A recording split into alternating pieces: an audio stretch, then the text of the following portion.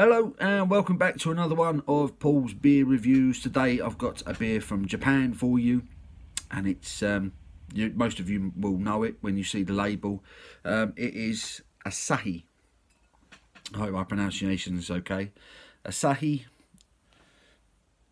So you, I'm sure you would have all seen that that label, the silver label, brown bottle. I've got this in a big 620 ml bottle.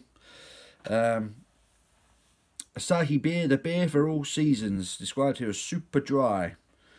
Loads of information on the bottle. It says it's Japan's number one beer. Right there, if you can read that.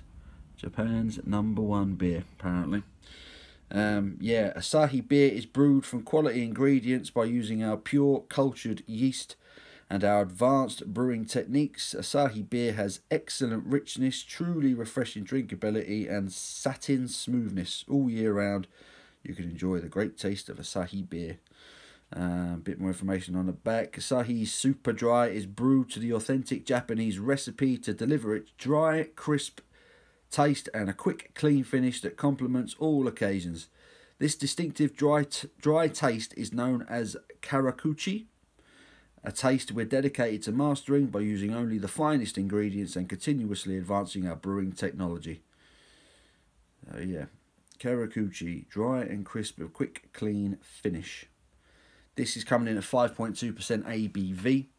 Um, the reason I picked this up um, it was because Asahi have kind of been at the forefront of my mind lately because they've recently purchased one of my favourite breweries. Um, Fuller's, based in London, in Chiswick, not too far away from me.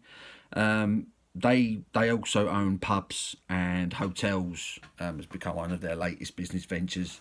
And Fuller's decided they wanted to pursue uh, the pub and their hotel management a little bit further, and they basically sold the the the brewery uh, department of their business to Asahi and Asahi bought it for I think it was 250 million pounds, so a fair old bit of wonga there.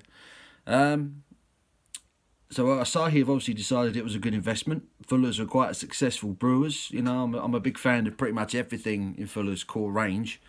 Um, but when the, when the news broke, it was a bit of a surprise. I wasn't expecting that because Fuller's are kind of a national institution. They've been around for donkey's years and um, you know, I love going to the Fuller's pubs and drinking the Fuller's beer. You know, I don't go to a Fuller's pub to drink this, to be honest with you.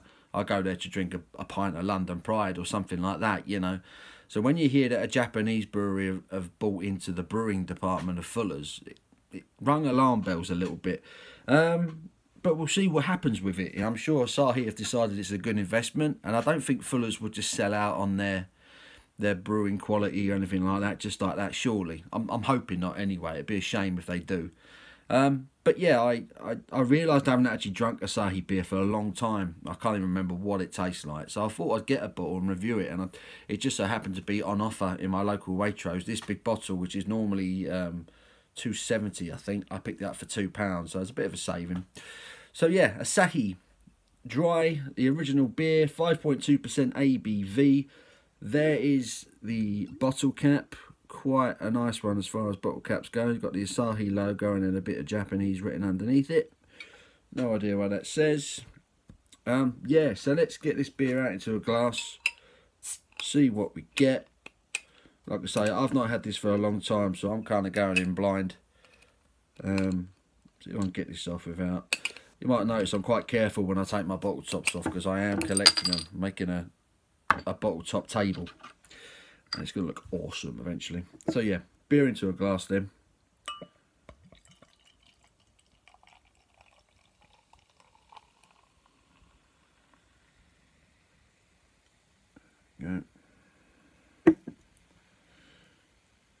Leave that there.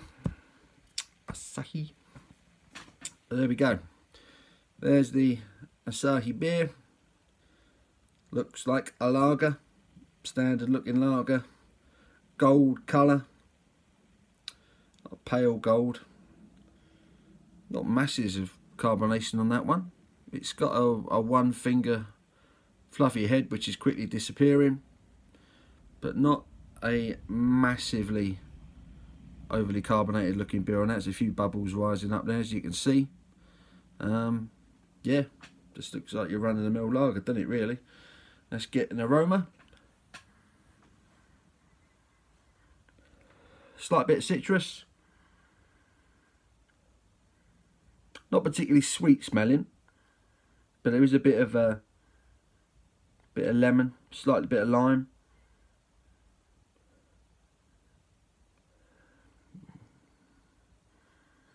It says the ingredients on the bottle.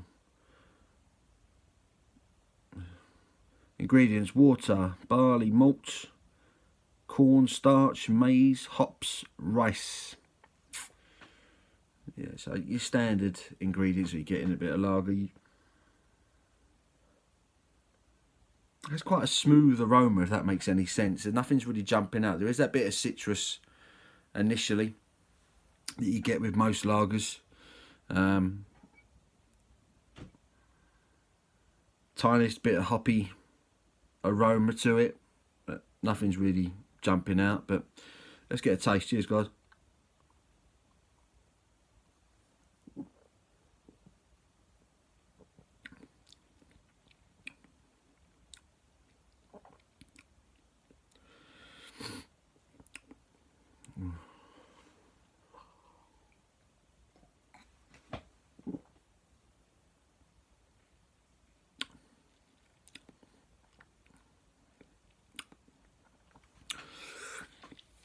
Clean, crisp, refreshing, definitely. Um, see what I mean by that dryness. There is kind of a dryness at the back of your, the back of the throat, the back of the palate after you've, you've had a mouthful of this, which kind of makes you want to go back to it. Um,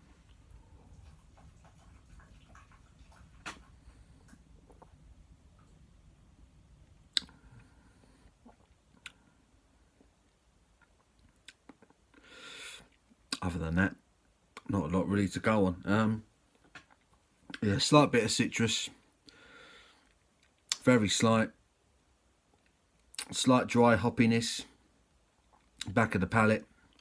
It is refreshing, it is crisp.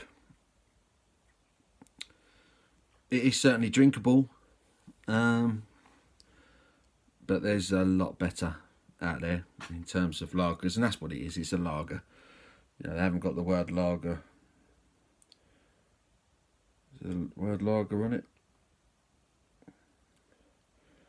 Let's just say beer. Recipe, blah, blah, blah, blah. I'm not sure the word lager is on here anywhere. I mean, they just described it as a beer. Um, I mean, it's a lager. Um, and it's not a particularly good one if I'm honest. Um, yeah.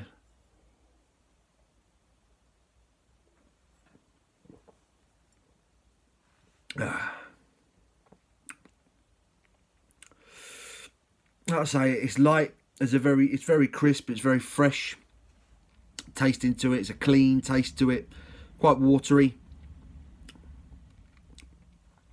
And there is that slight dryness at the back of the palate. Not yeah, it's different in that sense. It's not hoppy, it's not bitter. It's a dry finish as opposed to a bitter hoppy finish. It's there's no flavour with that. Um, like most most beers, you get like a hoppy bitterness at the back end, but there's a bit of flavour to it. There's no really extra flavour at the end of this. Once you get past that kind of that crisp citrus, um, you know, smash when you first drink it. Crisp, the carbonated, crisp, fresh tasting bit of it at the beginning. Once you get past that, there's nothing really to report on apart from this odd dryness at the back that kind of makes you want to go back for another one. Um,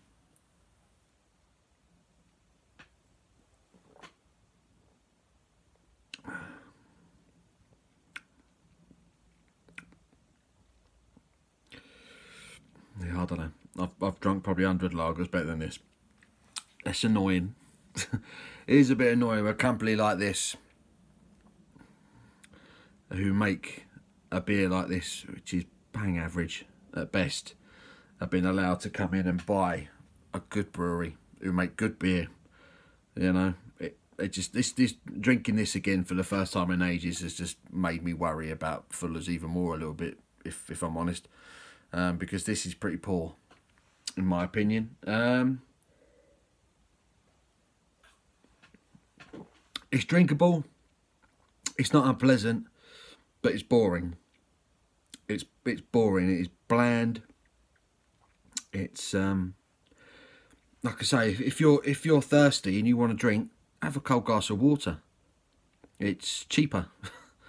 and it does exactly the same as this does. It this apparently has 5.2% alcohol. Not getting any of the alcohol on that. You're getting no boozy flavour to it. There's no complexity to it. There's a slight bit of citrus crispness with the beginning of it. It's really watery. And then there's this weird kind of dryness at the back end, which could be um, confused for hops, but it's not. It's just a weird dryness, obviously the way it's brewed. Um, I'm not a big fan, if I'm honest. I'm not impressed with that. Um, I think that the longer I've drunk it, the more I'm sitting here scratching my beard trying to find something good about it, but there's not much to report back with this. This is a mass-produced, you know, hugely available lager. Um, and it's kind of sold and advertised as like a premium lager, Japan's finest and all that crap. Um, yeah, it's it's bang average. I mean, you could find any old lager better than that, to be honest with you, and it'd be a bit cheaper as well. Um, yeah, Asahi's. Asahi's Super Dry. Uh, Japanese number one beer. I'm going to give it a score. Um, I'm going to give that a a 4 out of 10. I'm not impressed at all with it, and um, I'm now even more worried about what's going to happen with Fuller's if these guys are in charge of it. If this is a good beer in their eyes, and God knows what's going to happen with Fuller's. So there you go, 4 out of 10 for Asahi. Um, thanks for watching. Give the video a thumbs up. Uh, thank you to those who subscribed recently. I really do appreciate it. Um, as ever, let, let, get in touch with me. Let me know what you're drinking. Um, if there's anything you recommend, you know, is there anything you want me to perhaps review? I'm happy to do it. You know, I do love it when people comment and uh, and let me know what they're drinking. It's always good to know. So, um, yeah, give it a big thumbs up, and I'll see you on the next one. Thanks very much, guys.